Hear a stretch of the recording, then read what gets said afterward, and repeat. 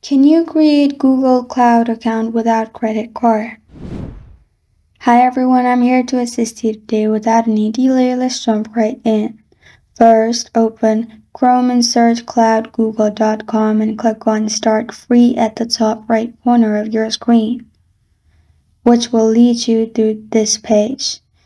In here, add your country and make sure there's tick mark in the box and press on Agree.